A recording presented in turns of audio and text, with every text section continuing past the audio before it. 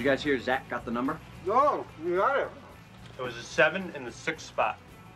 Damn. I was gonna guess that. Oh shit. Give me the grubby details. So I call her, and she says, let's go to dinner. Where'd you go?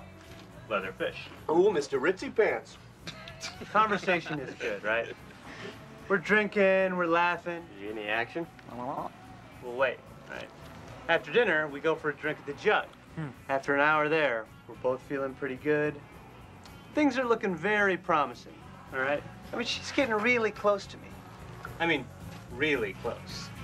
She's like this close. I get the point. I could have leaned out to kiss her at any time. But you didn't kiss her?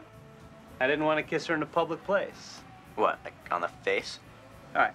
So you walk her home. So I walk her home. Did you hold hand? I don't hold hand. Me neither. Me neither. So anyway, we're standing outside her doorway, right? We're both saying how good a time we had. And so I lean in to kiss her. And?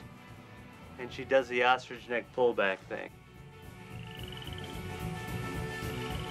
Oh, no, no, ah. no. Oh. Did you make contact?